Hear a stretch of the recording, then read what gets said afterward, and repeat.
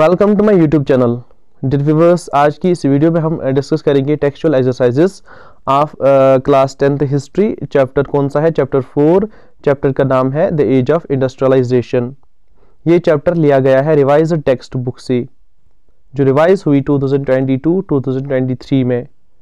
यानी जो एडेंडम भी आया था मार्केट में, जो लेटर ऑन इंक्लूड किया गया टेक्स्ट बुक में, उसमें जो टेक्सचुअल क्वेश्चन हैं, वो भी इसमें इंक्लूडेड हैं। तो स्टार्ट करते हैं वीडियो को। पहले शॉर्ट आंसर्स है हमारे पास। शॉर्ट आंसर टाइप क्वेश्चन पहला क्वेश्चन क्या है? Women workers in Britain attack the spinning jenny women workers ने क्यों अटैक किया? आपको एक्सप्लेन करना है स्पिनिंग जिन्नी पे ब्रिटेन में। इसका आंसर इस तरह है। James Hargreaves designer the spinning jenny in 1764 This machine sped up the spinning process and reduced the demand for labor By the use of this machine, a single worker could turn a number of spindles and spin several threads at a time. Due to this, many weavers would lose employment.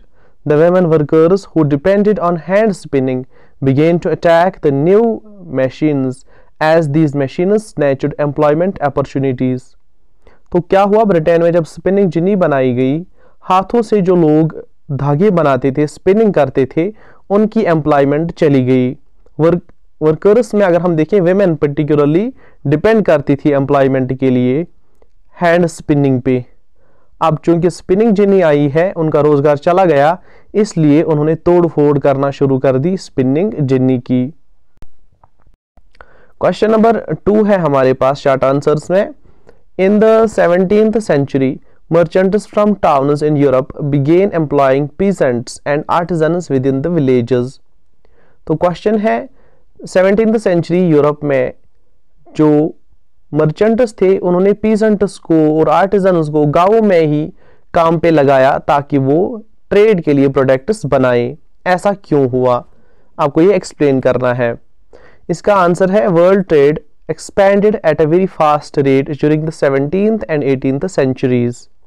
The producers could not expand the production in the towns. Because trade guilds were powerful, the rulers granted different guilds the monopoly right to produce and trade in specific products. As a result, to meet the growing demand of trade goods, merchants in Europe began employing peasants in the villages where guild restrictions were absent. तो इसका मतलब है कि seventeen और eighteen century में जब trade products की demand increase हो गई वर्ल्ड मार्केट में। टाउनर्स जो ब्रिटेन में थे यूरोप में थे, वहाँ पे गिल्ड रिस्ट्रिक्शन थी। वो कंट्रोल करते थे प्रोडक्शन और परचेज को। अब मर्चेंट्स को तो बहुत सारे प्रोडक्ट्स चाहिए थे। वो टाउन में प्रोड्यूस नहीं कर सकते थे, क्योंकि वहाँ मानोपली थी ट्रेड गिल्ड्स की।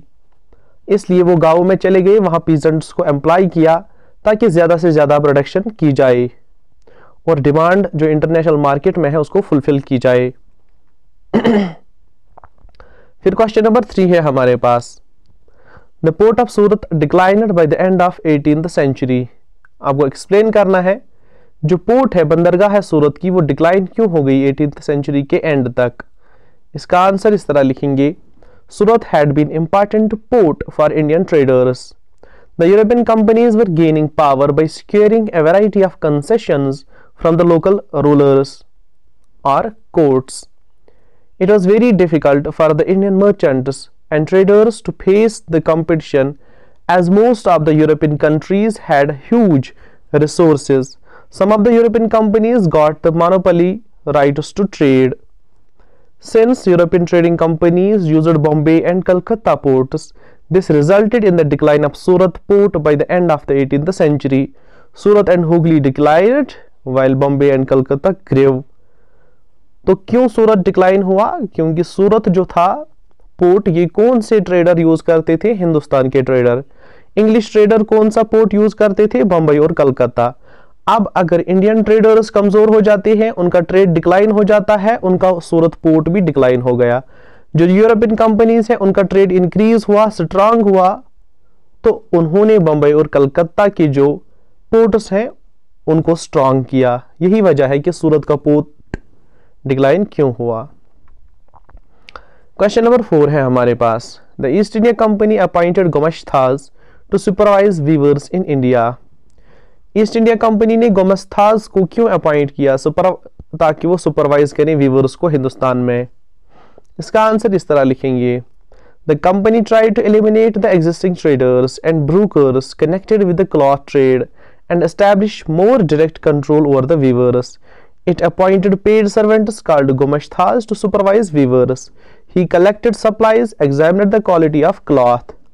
अब ईस्ट इंडिया कंपनी जो है वो एग्जिस्टिंग जो यहाँ पे क्लॉथ के ट्रेडर्स और मर्चेंट्स थे उनको एलिमिनेट करना चाहती थी ईस्ट इंडिया कंपनी चाहती थी कि खुद ही वो कंट्रोल करे सारे क्लॉथ ट्रेड को इसलिए उन्होंने गोमश्ताज को अपॉइंट किया वो सुपरवाइज करते थे वीवर्स के काम को वीवर्स को लोन्स देते थे और उनसे फिर कलेक्ट करते थे सप्लाईज और क्वालिटी ऑफ़ क्लॉथ भी देखते थे।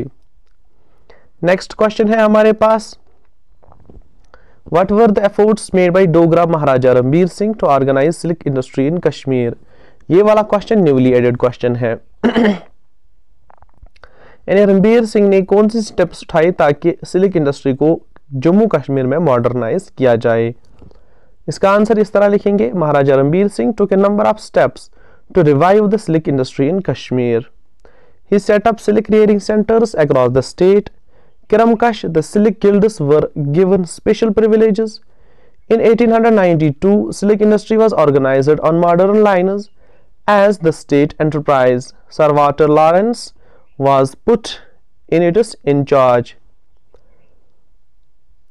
In 1903, silk industry was modernized on recommendations of famous English sericulturist Mr. Thomas Wardley. In 1907, a cocoon rearing factory was established in Srinagar. Seeds for this were imported from Italy and France. These were distributed among the peasants for purpose of rearing. तो महाराजा हरि सिंह के time पे महाराजा रणबीर सिंह के time पे क्या किया जाता है सिलिक रियरिंग सेंटर्स सेटअप किए जाते हैं पूरी स्टेट में। किरमकश डिपार्टमेंट या ये गिल्ड क्रिएट किया जाता है और इनको स्पेशल पावर्स दिए जाते हैं। 1892 में सिलिक इंडस्ट्री को मॉडर्नाइज किया जाता है। सर वाल्टर लॉरेंस इसका इंचार्ज बनाया जाता है। 1903 में सिलिक इंडस्ट्री को मॉडर्नाइज किया जाता है on the recommendation of mister Thomas Wardle और 1907 में श्रीनगर में फ़ेमस सिल्क रेयरिंग फैक्ट्री जो है, वो सेटअप की जाती है, जिसके लिए सीड्स कहाँ से लाए जाते हैं? इटाली एंड फ्रांस से। और फिर वहाँ से ये रेयरिंग के लिए पीजेंट्स को दिए जाते हैं। अब यहाँ पे राइट ट्रू और फॉल्स टाइप क्वेश्चंस हैं। At the end of eighteen century 80 percent of the total workforce in Europe was employed in technologically advanced industrial sector. ये फालस है। अभी भी वो ट्रेडिशनल इंडस्ट्रीज़ में ही काम कर रहे थे। दूसरा the international market for fine textiles was dominated by India till the 18th century ये बिल्कुल सही है। इसके बाद तीसरा the American civil war resulted in the reduction of cotton exports from India नहीं, इससे इंक्रीज हुए cotton exports Fourth, the introduction of fly shuttle enabled handloom workers to improve their productivity. ये बिल्कुल करेक्ट है। फिर हमारे पास है और question explain what is meant by proto industrialisation proto industrialisation की क्या मीनिंग है? Proto industrialisation was a period of industrial development before the industrial revolution in England even before factories began to appear in England There was a large scale industrial production for an international market. This was not based on factories. During this period, most of the goods were hand manufactured by trained craftspersons for the international market. तो होता क्या है proto industrialisation वो period था जो industrial revolution से पहले का पीरियड था जिस टाइम पे काफ़ी ज़्यादा इंडस्ट्रियल प्रोडक्शन होती है इंग्लैंड में ठीक है ये प्रोडक्शन फैक्ट्री से नहीं होती है, बल्कि हैंड मैन्युफैक्चर्ड जो आर्टिजन हैं, जो हाथों से चीज़ें बनाते हैं क्राफ्ट पर्सन ट्रेडिशनल इंडस्ट्रीज़ वहीं से ये प्रोडक्शन होती थी। यानी मशीन से कब मशीन से प्रोडक्ट्स नहीं बनाए जाते थे, हाथों से ही बनाए जाते थे। ये वो पीरियड है जो इंडस्ट्रियलाइजेशन से पहले का पीरियड है। इसे हम प्रोटो इंडस्ट्रियलाइजेशन कहते हैं। Question four why did some industrialists in nineteen century Europe prefer hand labour over machines nineteen century में यूरोप के कुछ इंडस्ट्रियलिस्ट्स मशीनस को नहीं अपनाते थे, बल्कि लेबर का ही इस्तेमाल करते थे। ऐसा क्यों? इसका आंसर इस तरह लिखेंगे।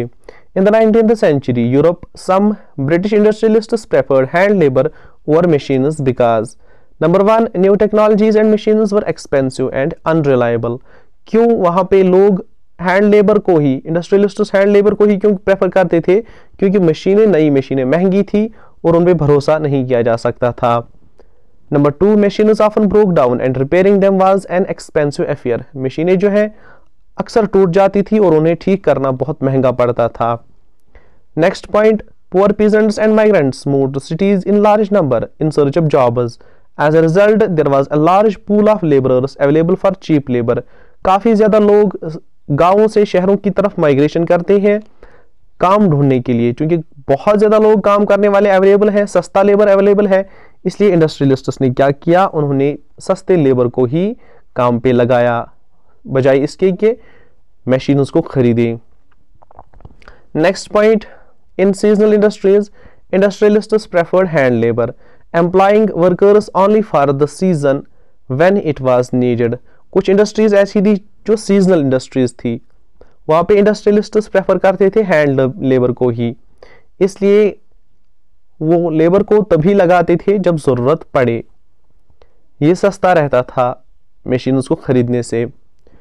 The variety of products required in the market could not be produced by machines available at that time उस टाइम पे काफ़ी वैरायटी में चीज़ें डिमांडेड थी मार्केट में। अब मशीन्स के ज़रिए चूँकि एक ही तरह की यूनिफॉर्म चीज़ें बनती हैं इनमें वैरायटी नहीं रहती थी, इसलिए हैंड लेबर को प्रेफर किया जाता था ताकि वैरायटी प्रोड्यूस की जाए।